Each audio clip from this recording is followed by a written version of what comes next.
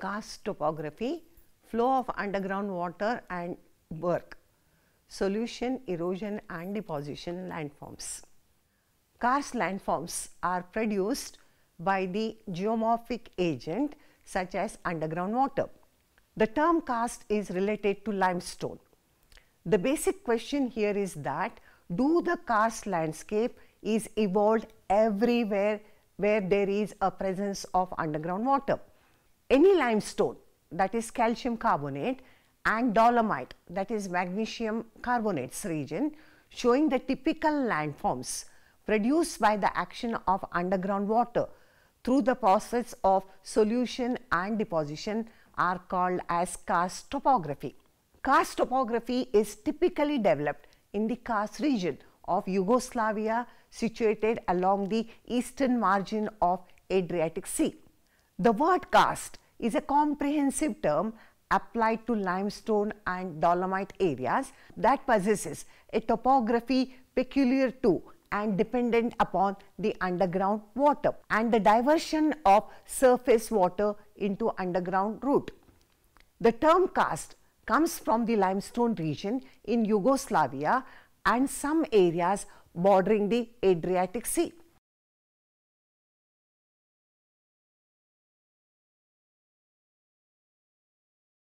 With this background, the main aims of this lesson are to understand the flow mechanism of underground water, to know the work of underground water, to bring out the factors essential for the development of karst landscape, to study various depositional landforms evolved by the underground water.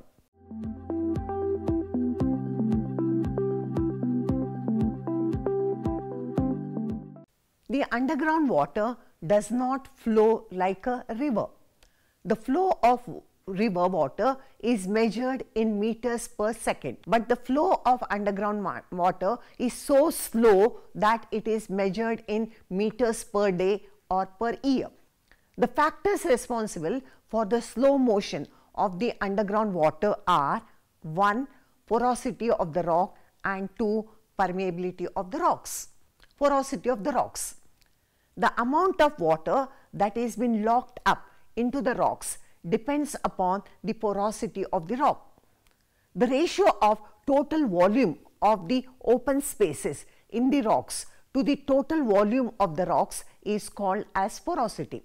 The porosity of the sand and gravel ranges from 25 to 45 percent, but the porosity of granite is hardly 1 percent. The porosity of rock depends on size, arrangement, closeness and compaction. The seeping water dissolves the salts present in the rock and increases their porosity, permeability of the rocks. When the water flows through the rocks, some rocks allow more water than the others. The capacity of the rocks to transmit water through them is called as permeability of the rocks. The presence of pores in the rocks is not only the factor transmitting the water. Joints, fissures present in the rocks are also responsible for transmitting water. A rock may not be permeable though it may be porous. The fine pores as in case of clay are of great hindrance to the flow of water. Igneous rock like granite and basalt limit the flow of water. The surface water percolates well when the rocks are permeable. After vertically go going down to some depth, the water underground flows horizontally. It is this downward and the horizontal movement of the water which causes rocks to erode.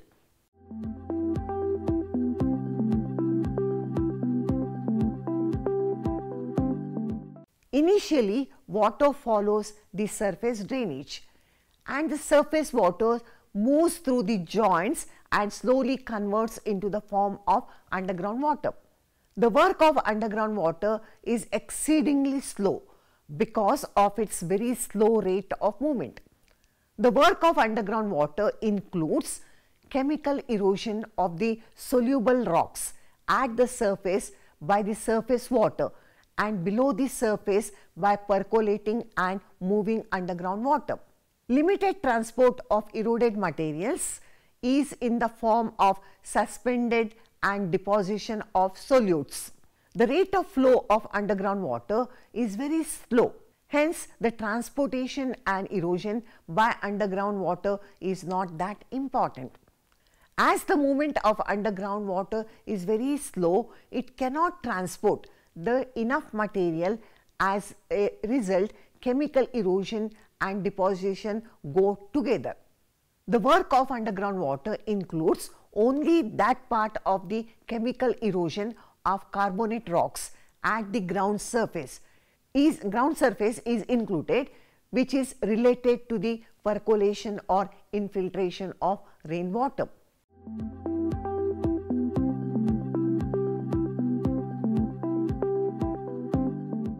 Underground erosion starts with water percolating through the joints, faults and dissolving the soluble rocks. Water table is able to undertake erosion only by dissolving soluble rocks such as limestone and dolomite. The erosional work is mostly in the form of corrosion or solution. Solution activity. The main source of underground water is rainfall. Normally, water cannot dissolve the limestone rock. The rainwater, while passing through the atmosphere, dissolves carbon dioxide present in the air. The rainwater, which has carbon dioxide dissolved, becomes weak acidic in nature and turns into diluted carbonic acid, which can dissolve the rock like limestone. Rainwater mixed with atmospheric ca carbon dioxide becomes active solvent agent and dissolves the carbonate rocks at the surface and below the surface to form various solutional landforms. When the rainwater is mixed with atmospheric carbon dioxide, it forms a weak acid called as carbonic acid. The slow moving underground water can dissolve huge quantities of soluble rocks and carry them away in solution.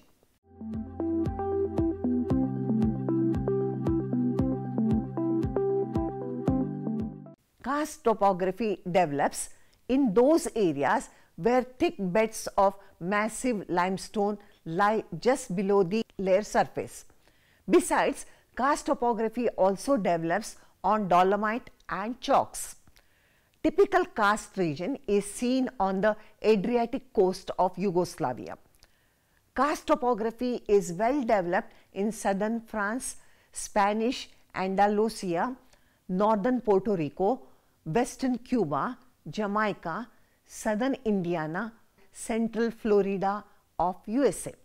In addition to these areas, there are innumerable areas where karst features are present but do not dominate the landscape. The chalk region of England and France are few examples of such areas which exhibits some karst features. None of the above mentioned areas displays all the possible karst landforms. The reasons behind varying conditions of lithology structure, height of the water table and climate. This is well illustrated by some of the significant differences between tropical karst and that of the mid latitudes. Actually, full development of the karst landscape is restricted to relatively small number of locations.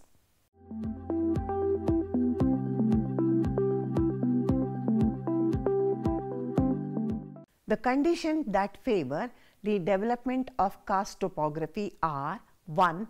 Presence of limestone at or near the surface.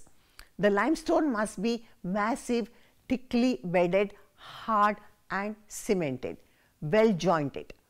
Most of the notable karst areas are in the regions where limestone underlies the surface.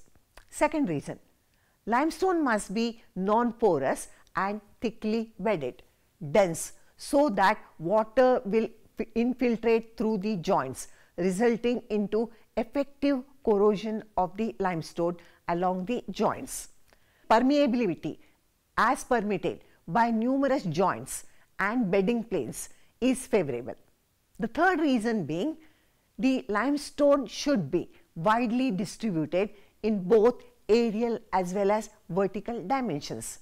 Fourthly, the carbonate rocks should be very close to the ground surface so that rainwater may easily and quickly infiltrate into the beds of the limestone and may dissolve the rock to form solutional features.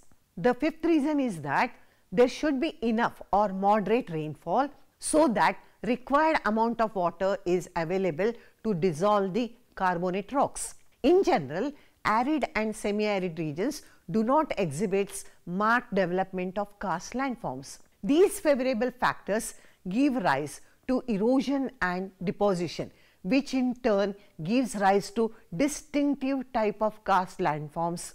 Karst topography is characterized by both depositional landforms and solutional landforms.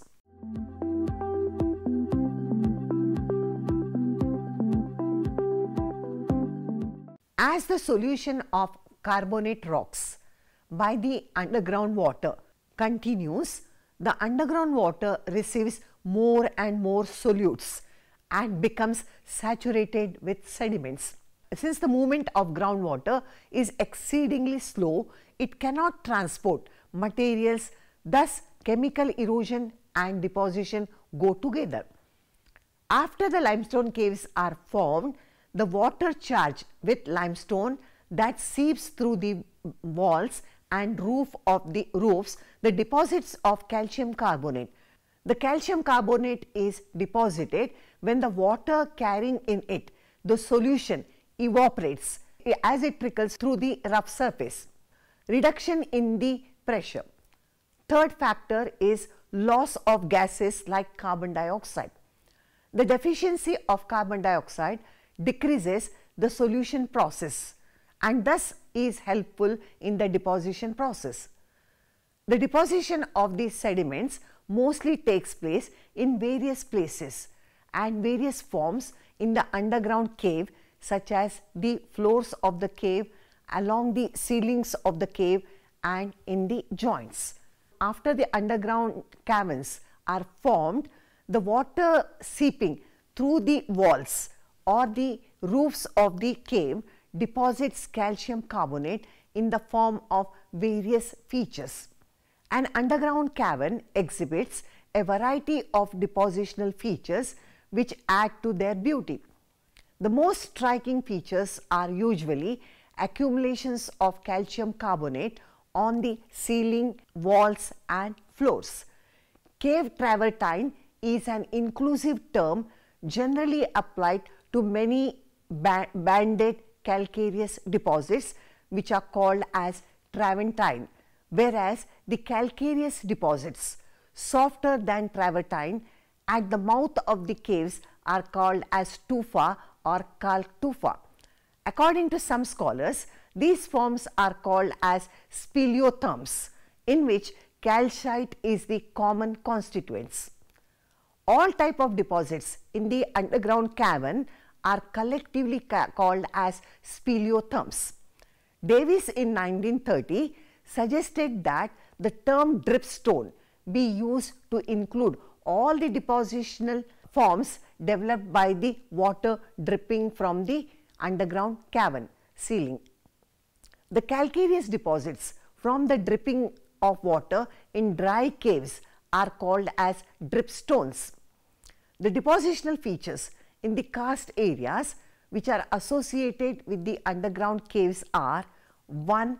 Stalactites, 2. Stalagmites, 3. Pillars and 4th drapes or curtains.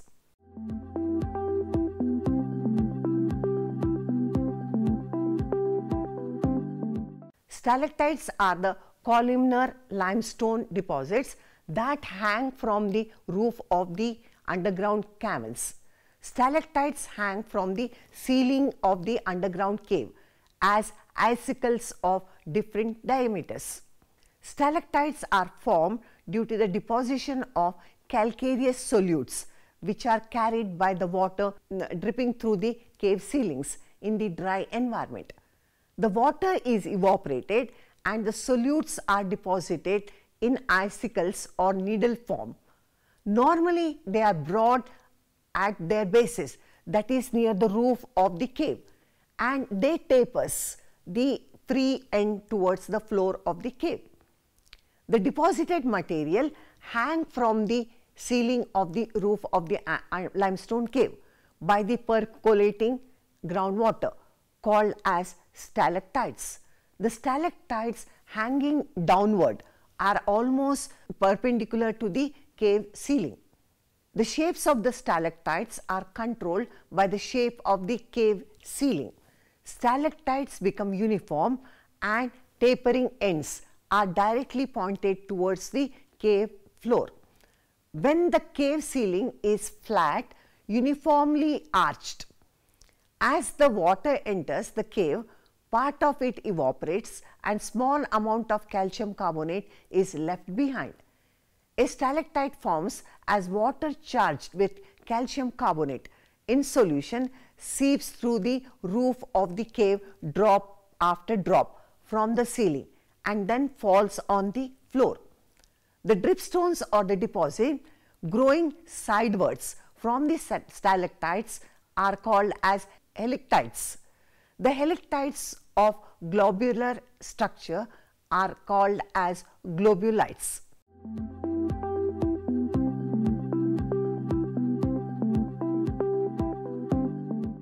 Stalagmites are the columnar deposits which grows upward from the floor of the underground cave. It is formed from the precipitation or deposition of uh, carbonates in calcite form. A stalagmite grows upward from the floor of the cave. The solution that drops from the cave floor is also precipitate and crystallize and forms a column-like structure of stalagmites. The stalagmites are formed when the water charged with calcium carbonate in solution seeps through the cave roof drop by drop and falls on the floor of the cave. The calcareous column of dripstones growing upward from the cave floor are known as stalagmites. The deposits growing sideward from the stalagmites are called as heligmites.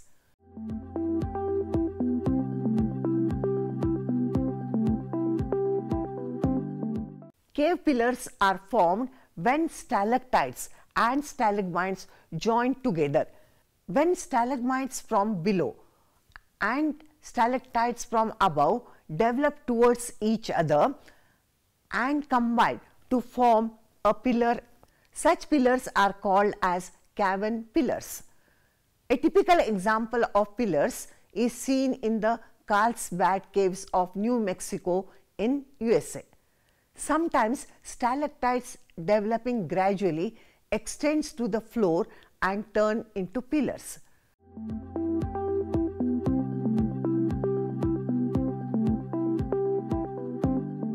Water percolating from the fractures in the, uh, in the roof of the underground cave may not form a thin vertical sheet of deposits, drapes or curtains. Water percolating from the fracture in the roof of the underground cave may form a thin vertical sheet of deposits known as drapes or curtains. They are very thin wavy dripstones hanging from the cave ceiling. Drapes or curtains are formed in caves where rivulet of underground water flows along the inclined roof. The curtain attached to the ceiling of the cave hangs downward.